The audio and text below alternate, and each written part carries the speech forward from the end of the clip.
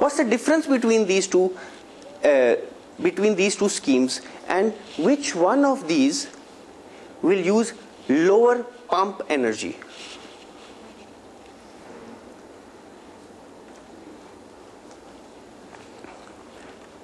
Is there some comparative advantage of one over the other?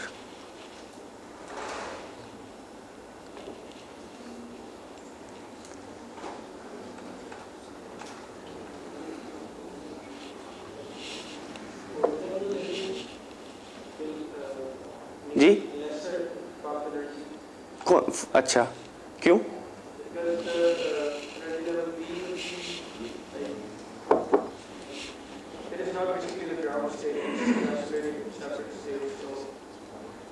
Shabash. This four level laser system will require lower pump, lower pump energy. The reason is that you have lasing operation between C and D and the lower of these lasing states, D, is not a ground state. Therefore, it is far easier to achieve population inversion between C and D than achieving population inversion between C and A. Because A is a ground state and there is a high preponderance or a high population of electrons in the state A. So at least you have to move almost half of the electrons in the state A from the state A to higher state before you can achieve population inversion. But here, even the population inversion is readily achieved because this is not the ground state. To start off with, this state had a lower population of electrons. Agreed?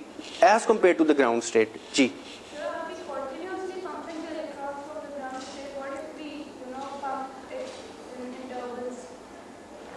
So there are two modes of operation.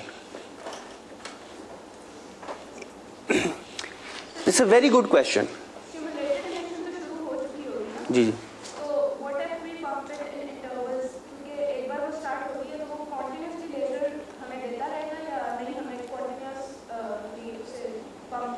ठीक है very good question there are two modes of operation of lasers one is you continuously pump energy second is you pulse the pump you give the pump stop give the pump stop now different laser schemes have different requirements.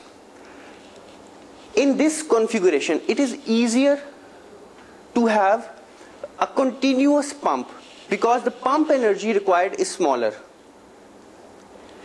If you want continuous operation in this Ruby system, in this three level system, it requires a far greater pump energy and it might not become very cheap or efficient to input that energy. Therefore, this kind of scheme generally works in the pulsed mode. You pump, switch off, and you get a pulse of light, no light. Pulse of light, no light. Pulse of light, no light. So this generally operates in the pulsed mode, whereas it is easier to operate this in the continuous mode. So there are different modes of operation, right? So,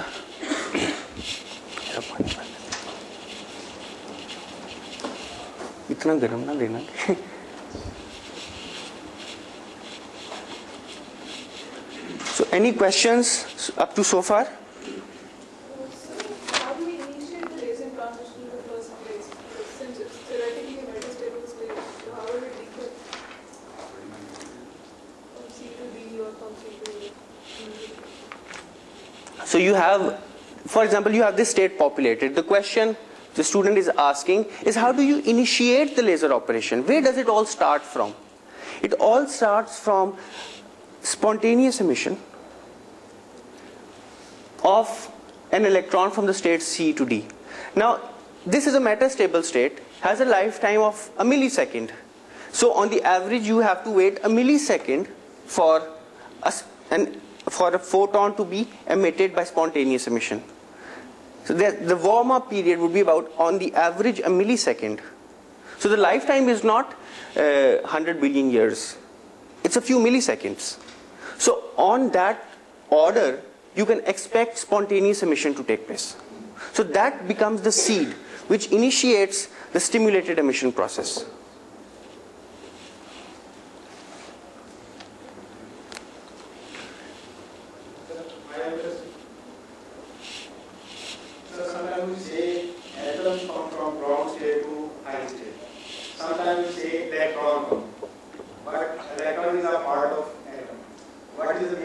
This is no difference ये तो देखें लफ्ज़ों का उलझाओ लफ्ज़ों का उलट फेर है।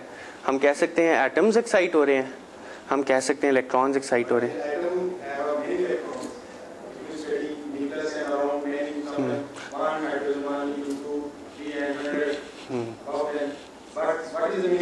दिस नो डिफरेंस देखो ये मैं कह रहा हूँ सीमेंटिक है लफ्जों की ये खेल है।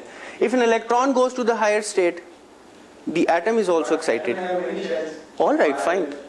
All right. So in these, Ruby is not a simple system. It does not have three levels. Neon does not have four levels. There are many levels.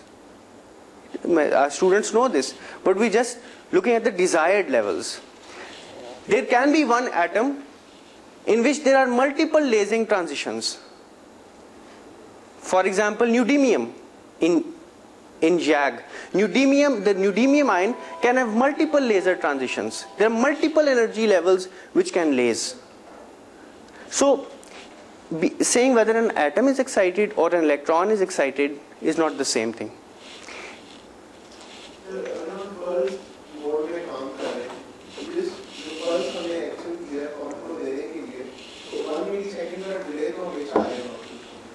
On average.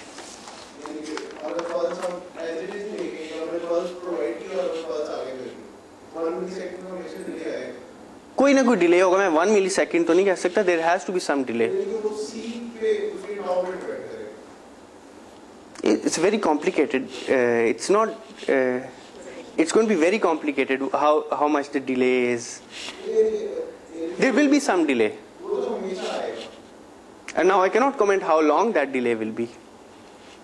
And what does it depend upon? It's a very complicated process. अच्छा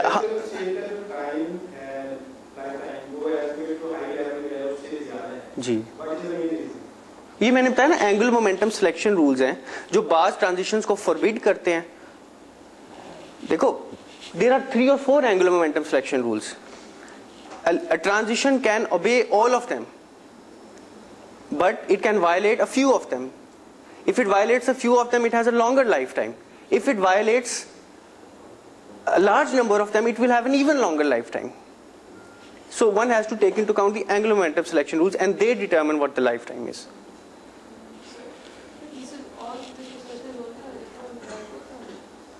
Yes, we're talking about electron dipole transitions only. There are other transitions as well, but their probability is very low, extremely low. So the uh, uh, magnetic dipole transitions are about 1% of the electric dipole transitions. The electric quadrupole transitions are 0.01%. So there are other transitions as well, but the probability is very low. The photons uh, emitted from the C to A uh, will have more energy than C to B.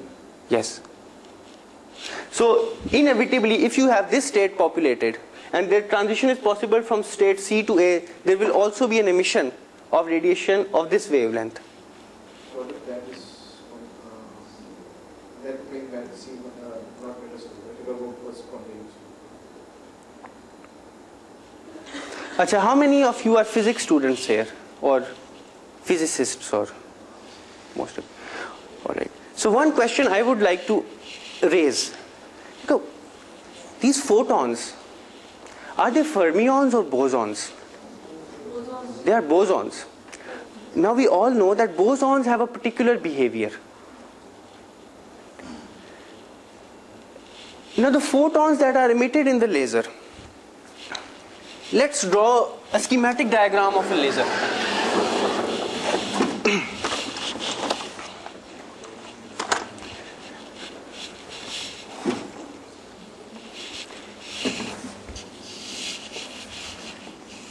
you have two mirrors m1 m2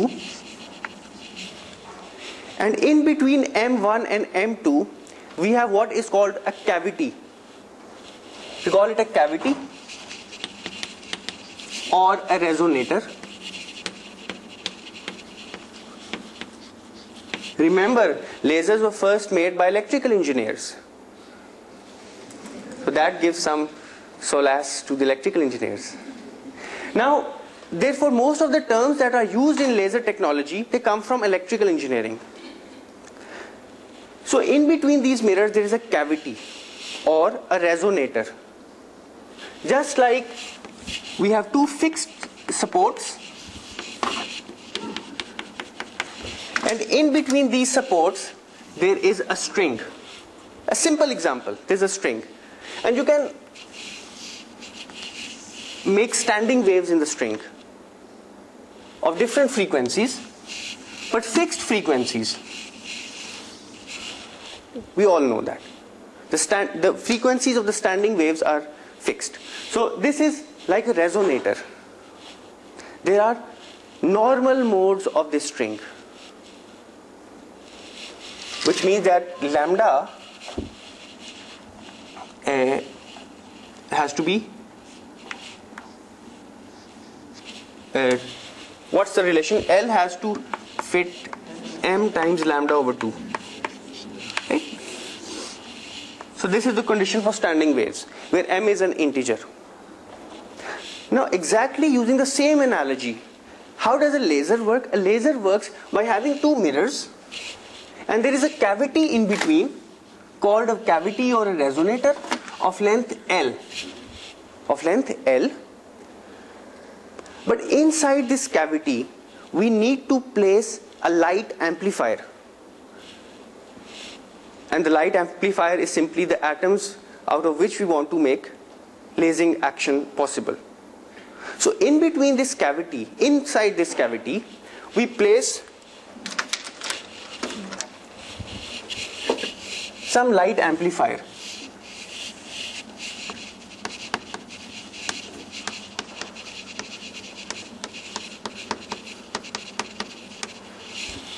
The light amplifier are simply collections of atoms which have the three level structure or the four level structure.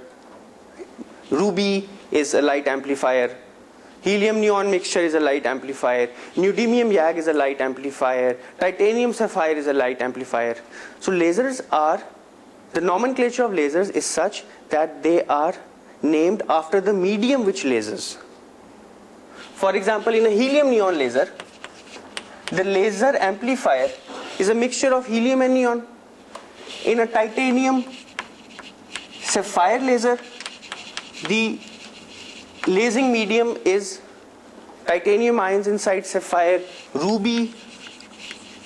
We can have carbon dioxide lasers, nitrogen lasers, dye lasers, we can have semiconducting lasers, and the list goes on and on. So laser is named after the active medium which is lasing. ठीक है अब lazing एक verb बन चुका है dictionary में भी लफ्ज आ गया लेज लेज means to give laser action so you have a cavity in which you place the light amplifier. It's also called the active medium.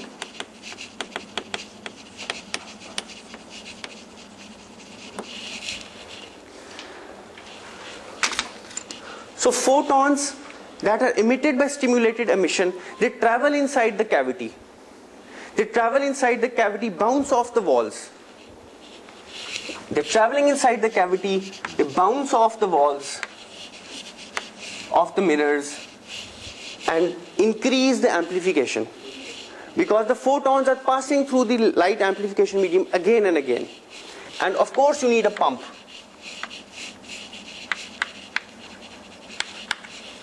so this is